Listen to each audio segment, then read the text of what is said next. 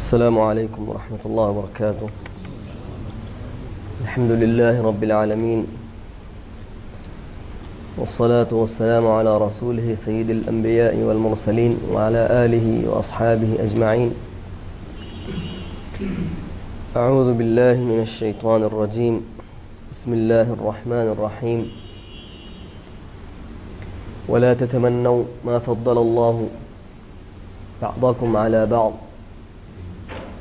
ولا تتمنوا ما فضل الله به بعضكم على بعض. محترم علماء اکرام اور حاضرین مجلس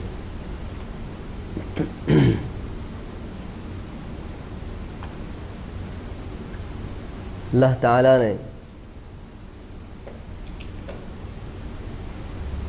انسانوں کے لیے اپنی حکمت اور اپنی تقدیر کے حساب سے بہت ساری چیزیں تقسیم کی۔ اس دنیا کے اندر اللہ تعالیٰ نے جیسے کچھ وہ بہتر جانتا ہے، اس کی مشیت، اس کی حکمت کے تحت اللہ تعالیٰ نے ہر ایک کو نعمتوں سے جو ہے نوازا ہے۔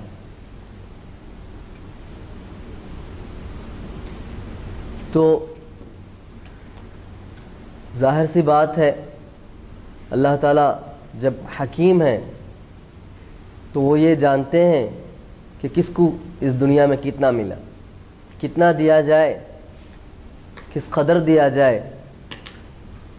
تو یہ اللہ تعالیٰ کی مرضی ہے اور اس کی مشیت ہے۔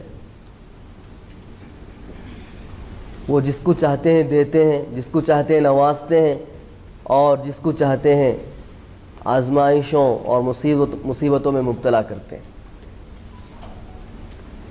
تو اسلام نے جن چیزوں پر زیادہ زور دیا ہے، ان میں جو ہے سب سے اہم بات یہ ہے کہ آدمی اپنے دل کو صاف رکھے۔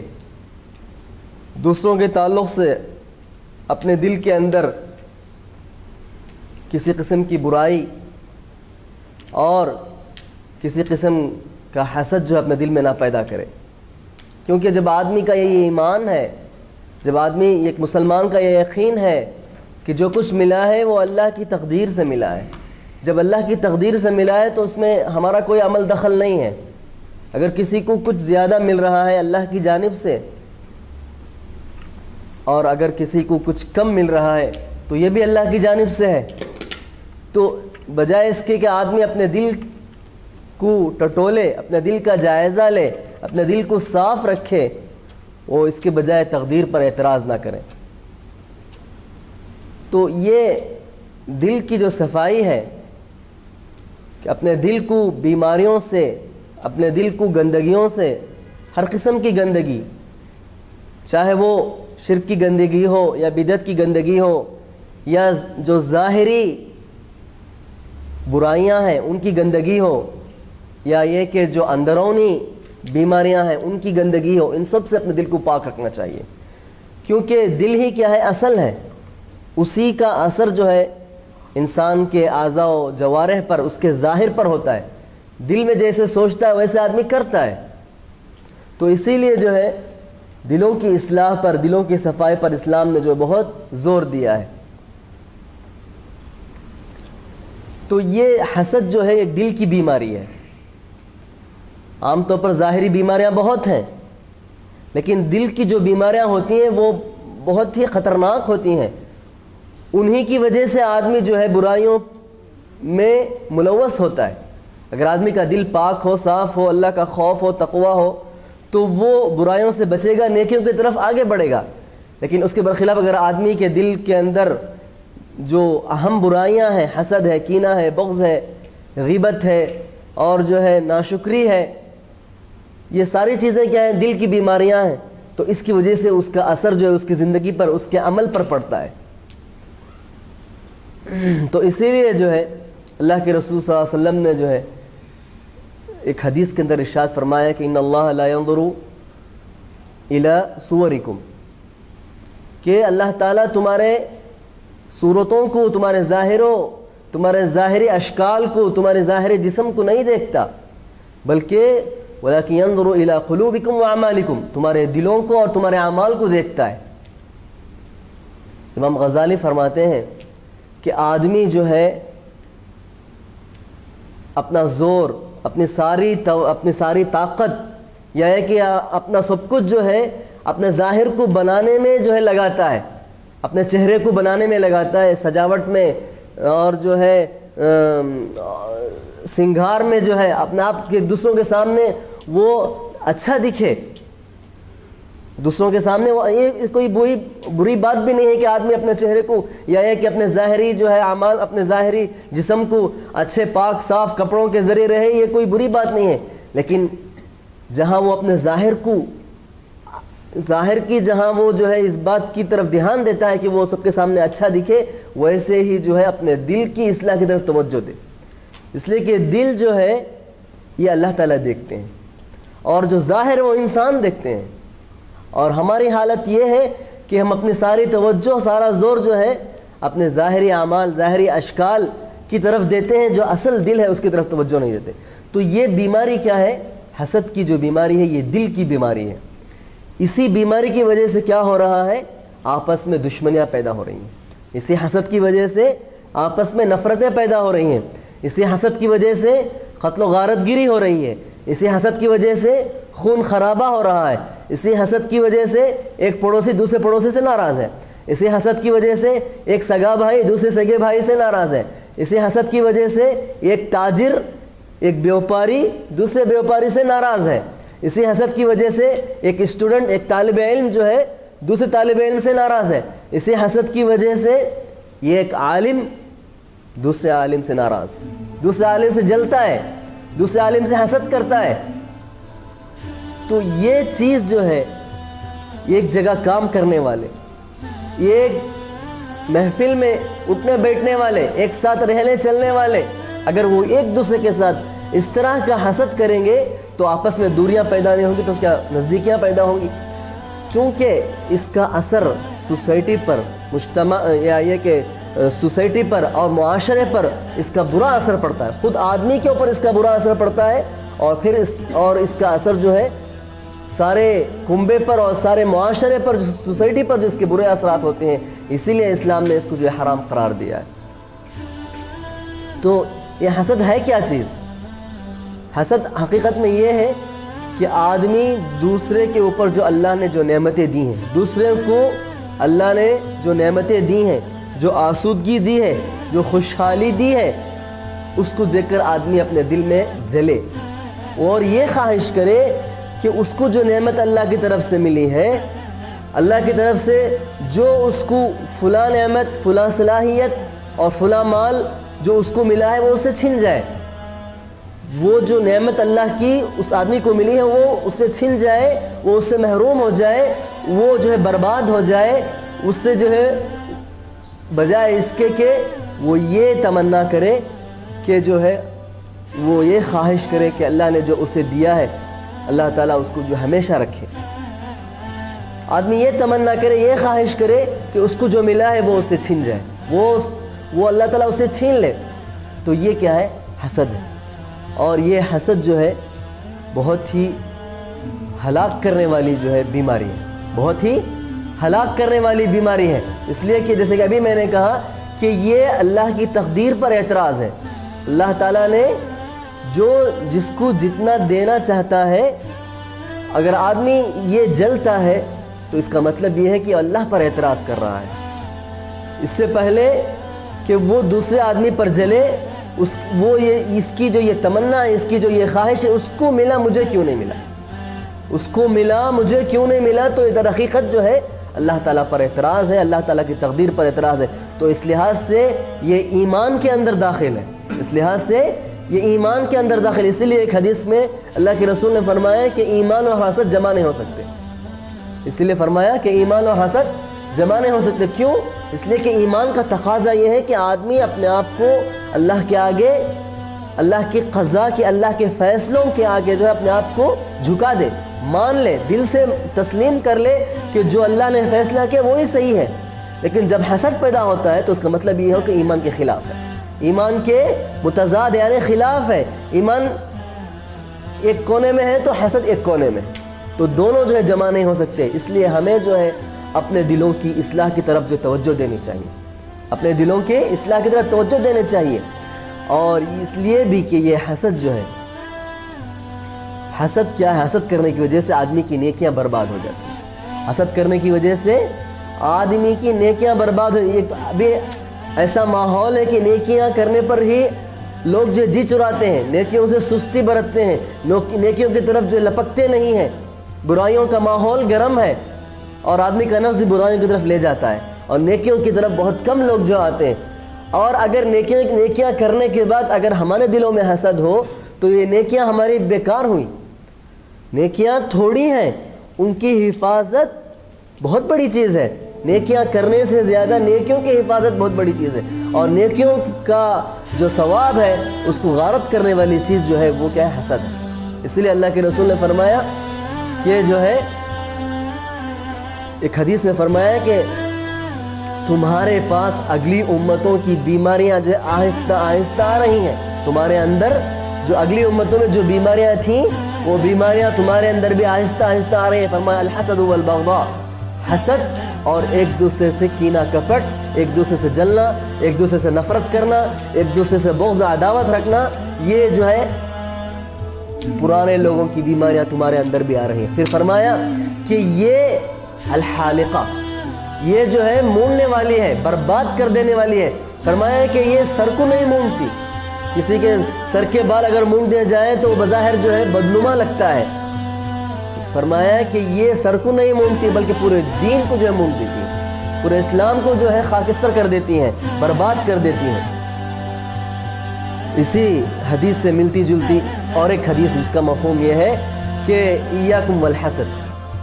کہ تم حسد سے بچو، فَإِنَ الْحَسَدَ يَأْكُلُ الْحَسَنَاتِ كَمَا تَأْكُلُ النَّارُ الْحَطَبِ۔ کہ جو ہے حسد نیکیوں کو ایسے ہی کھا جاتا ہے جس طرح آگ جو ہے لکڑی اور ایندھن کو کھا جاتی ہے۔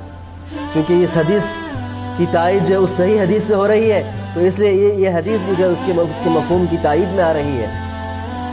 تو یہ اس کی برائی اور اس کی قباحت، اس کا برا ہونا جو ہے اتنا واضح ہے کہ آدمی جو ہے اس حسد پر جو ہے اپنے نظر ثانی کرے، آدمی اپنے دل کو ٹٹولے کہ کہیں وہ جو ہے اس بری بیماری میں تو مبتلا نہیں ہے۔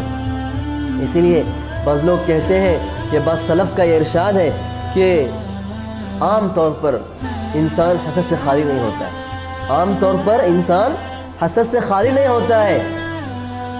ہاں یہ فرق ضرور ہے کہ جو شریف آدمی ہے وہ اس کو چھپا لیتا ہے۔ جو شریف آدمی ہوتا ہے، اس کو چھپا لیتا ہے۔ یا یہ کہ ایک مومن ہے، تو جب اس کے اندر حسد کے جذبات پیدا ہوتے ہیں، تو اسے چاہیے کہ وہ حسد کے جذبات کو روکے۔ انسان ہونے کے وجہ سے ممکن ہے اس کے دل کے اندر جذبات پیدا ہو حسد کے۔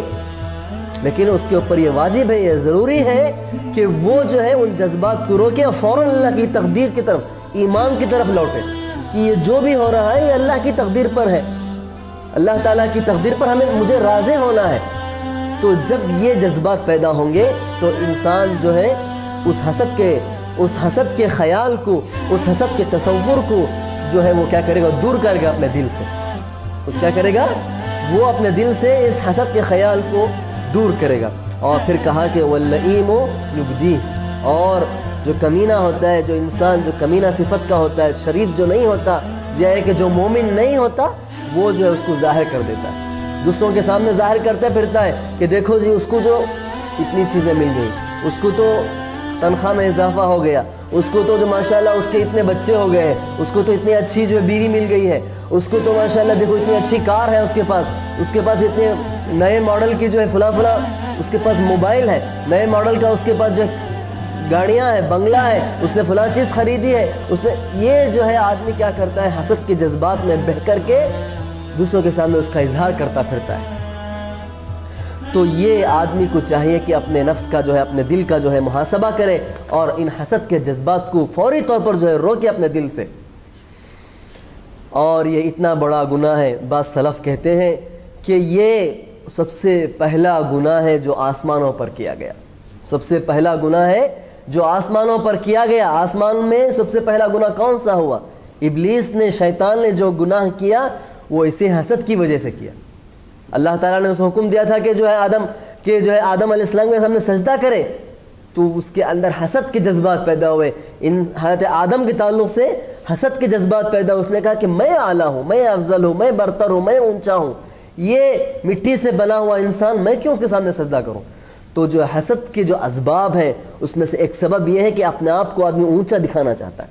آدمی اپنے آپ کو اونچا دکھانا چاہتا ہے، دوسروں سے اپنے آپ کو بڑا کر کے دکھانا چاہتا ہے۔ تو یہ حسد کا سبب ہے۔ تو اپنے اندر عاجزی پیدا کرے، اپنے اندر مسکینیت مطلب یہ کہ اپنے اندر عاجزی پیدا کرے اور دوسروں سے اپنے آپ کو بڑا بڑا چڑھ کر کے نہ سمجھے۔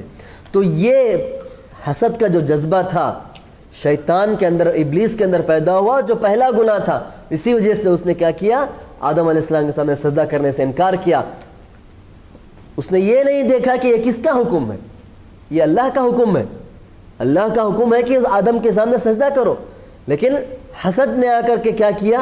اللہ کے حکم کو ٹھکرا دیا۔ حسد کی وجہ سے اللہ کے حکم کو اس نے جو ہے کیا کیا؟ ٹھکرا دیا۔ تو یہی وہ حسد ہے۔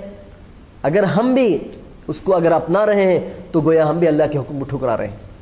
اللہ کے حکم کو ہم بھی ٹھکرا رہے ہیں۔ تو اسی لیے حسد کو جو ہے اپنے دلوں سے دور کرنا چاہیے۔ اور پھر وہی فرماتے ہیں کہ سب سے پہلا گناہ جو زمین پر ہوا وہ بھی حسد کی وجہ سے ہوا۔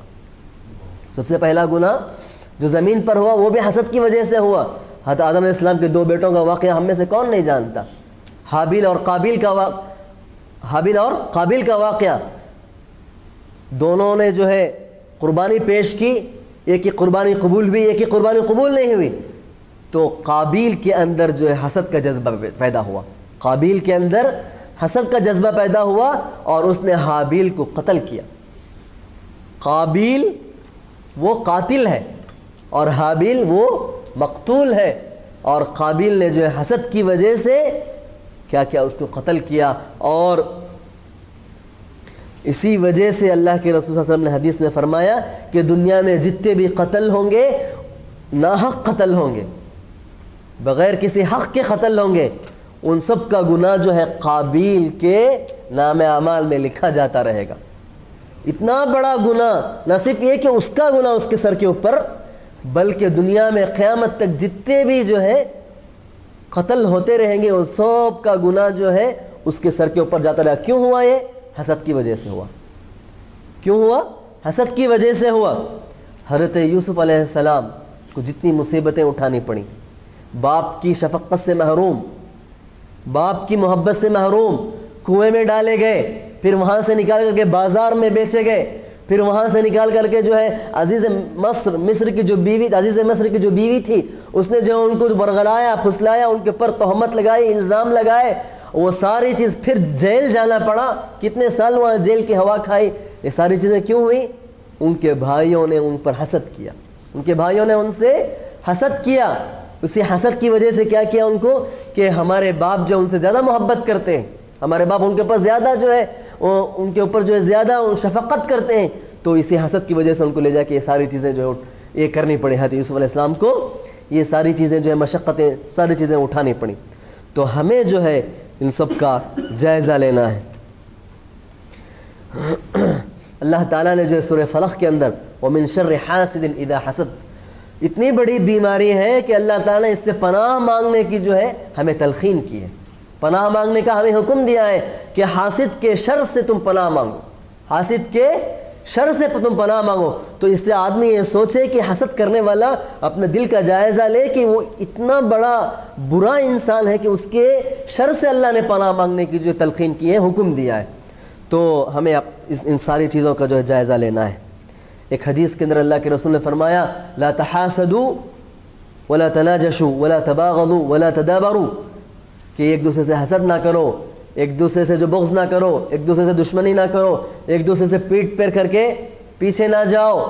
فرمایا وکون و عباد اللہ اخوان تم سب جو ہے مل کر کے اللہ کے بندے اور بھائی بھائی بن کر کے رہو۔ تو یہاں پر بھی جو اللہ کے رسول نے حسد حسد سے جو ہے روکا ہے، تو جو اسباب ہیں حسد کرنے کے، اس میں سے ایک سبب تو ابھی ذکر کیا کہ آدمی اپنے آپ کو اونچا دکھانا چاہتا ہے۔ یا یہ کہ آدمی جو ہے، اللہ تعالیٰ کے آگے اپنے آپ کو بڑا سمجھ رہا ہے۔ اللہ تعالیٰ کے آگے اپنے آپ کو بڑا سمجھ رہا ہے۔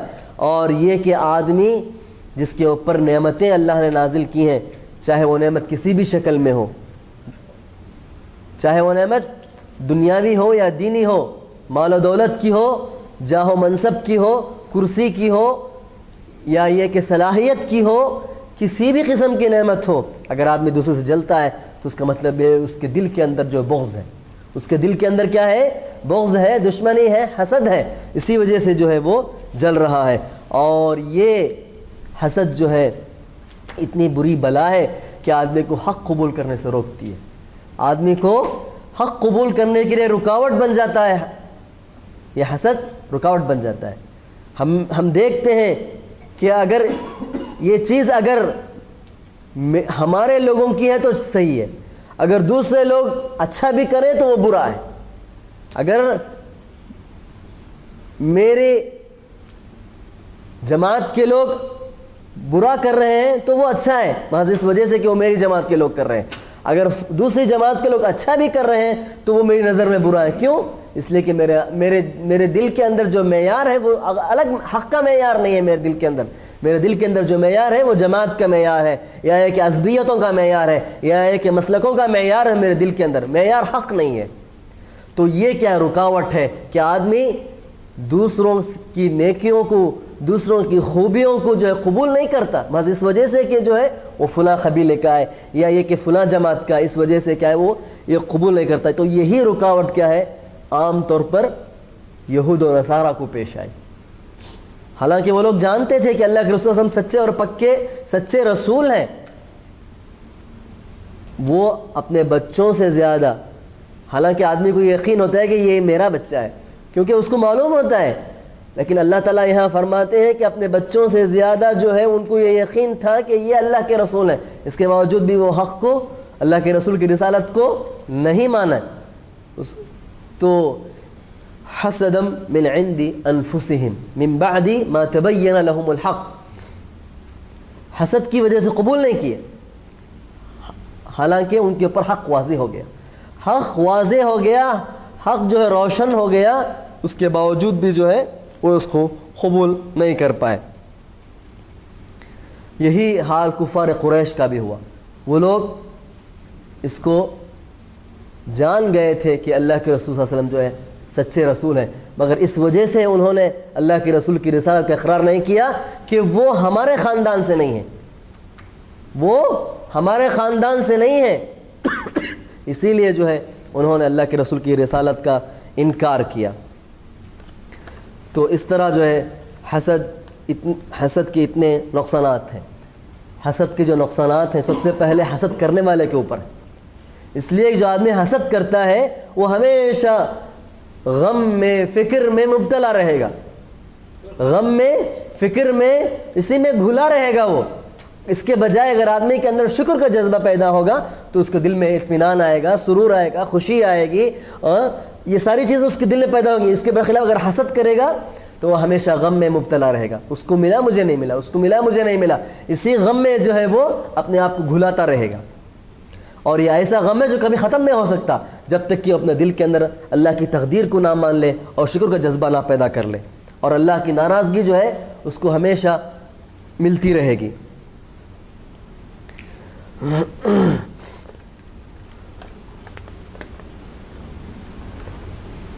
اسی لیے اللہ تعالیٰ نے جیسے کہ میں نے شروع میں بولا تھا تمنا ما فضل اللہ کی جو آیت ہے، اس کے اندر اللہ تعالیٰ فرماتے ہیں کہ اللہ تعالیٰ نے جو نعمتیں ایک دوسرے کو دی ہیں اس کے بارے میں تم یہ تمنا نہیں کرو کہ اس کو جو نعمت ملے مجھے بھی ملے۔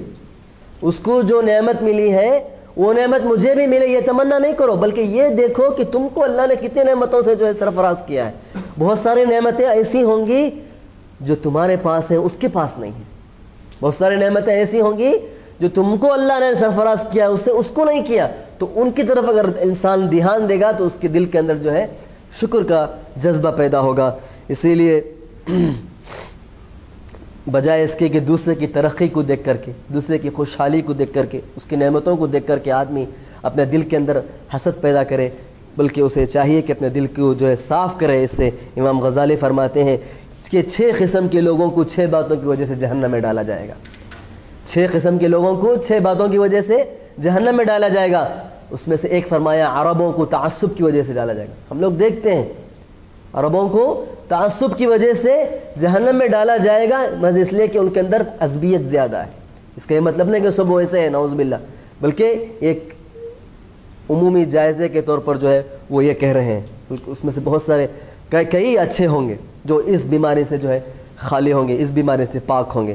پھر فرمایا دوسرا نمبر یہ ہے کہ حکام کو ظلم کی وجہ سے، حکام کو جو ہے ظلم کی وجہ سے جہنم میں ڈالا جائے گا کہ آدمی کیا آدمی کو اللہ نے جو ہے اس ساری چیزیں کی باغ دوڑ جو ہے اس کے ہاتھ میں دی، اس کے باوجود اس نے اپنی رعایا پر ظلم کیا تو اس کی وجہ سے اللہ تعالیٰ اس کو جہنم میں ڈالے گا۔ پھر تیسری قسم وہ ہے جو بڑے لوگ ہیں۔ بڑے لوگوں کو تکبر کی وجہ سے۔ آدمی کو اللہ نے اگر کچھ دیا ہے، مال دیا ہے، دولت دی ہے، جاؤ منصب دی ہے، تو اس کی وجہ سے آدمی تکبر کرتا ہے، دوسروں کو چھوٹا سمجھتا ہے، تو فرماتے ہیں کہ اس کو جو ہے اس تکبر کی وجہ سے اللہ جہنم میں ڈالے گا اور پھر فرمایا کہ تاجر کو خیانت کی وجہ سے۔ کیونکہ عام طور پر جو بیوپار بیوپاری لوگ ہوتے ہیں، جو بزنس مین ہوتے ہیں، وہ جو جھوٹ بولتے ہیں، خیانت کرتے ہیں۔ عام طور پر کیا ہوتے ہیں؟ اپنی اپنی چیزوں کو بیچنے کے لیے کیا کرتے ہیں؟ جھوٹ بولتے ہیں۔ اور اپنی چیز کو جو ہے بیچتے ہیں، تو اس وجہ سے اللہ تعالیٰ ان کو جو جہنم میں ڈالے گا۔ اور پھر فرمایا کہ دیہاتی جو دیہاتی ہے، جو گاؤں کا آدمی ہے، اس کو جہالت کی وجہ سے اللہ جہنم میں ڈالے گا۔ ہمیشہ جہل عذر نہیں بن سکتا۔ آدمی یہ نہیں کہہ سکتا کہ مجھے نہیں معلوم تھا۔ ہو سکتا ہے بعض حالات میں جہل یعنی کہ نادانی کم علمی عذر بنے، لیکن عام طور پر یہ ہے کہ ہمیشہ نادانی کم علمی جہالت جو عذر نہیں بن سکتی۔ اس لیے کہ اللہ تعالیٰ نے اللہ تعالیٰ کا یہ یہ حکم ہے، یا یہ کہ اس کے اوپر یہ واجب ہے کہ وہ جائے علماء سے پوچھے، مسائل پوچھے، علم حاصل کرے۔ یہ ہر آدمی پر اور دیہاتی کے اوپر بہت زیادہ جو ہے یہ ضروری ہے۔ وہ یہ عذر نہیں پیش کر سکتا کہ میں جو ہے گاؤں میں تھا، مجھے نہیں معلوم تھا۔ تو فرماتے ہیں کہ دیہاتی کو جہالت کی وجہ سے اللہ جہنم میں ڈالے گا۔ اور آخر میں فرمایا، علماء کو حسد کی وجہ سے اللہ جہنم میں ڈالے گا۔ علماء کو حسد کی وجہ سے اللہ تعالیٰ جہنم میں ڈالے گا۔ تو ہم تمام علماء اکرام کو بھی اس بات کا جائزہ لینا ہے کہ ہمارے دل کے اندر کسی کے تعلق سے، دوسرے عالم کے تعلق سے حسد کے جذبات اگر ہیں، تو وہ ان جذبات کو اپنے دلوں سے دلوں کو جو ہے پاک و صاف کرے۔ اللہ تعالیٰ سے دعا کیجیے اللہ تعالیٰ ہم سب کو ان اس بری بیماری سے جو ہے اللہ ہمیں محفوظ رکھے۔ ہمارے دلوں کو صاف و شفاف بنائے۔ ہمارے دلوں کے اندر جو ایک دوسرے سے حسد، بغض، عداوت، کینہ، کپٹ، دشمنی، یہ ساری چیزیں اللہ تعالیٰ جو ہے ہمارے دلوں سے ان سب کو صاف کرے۔ آمین۔ واخر دعوانا الحمد للہ رب العالمین۔ جزاک اللہ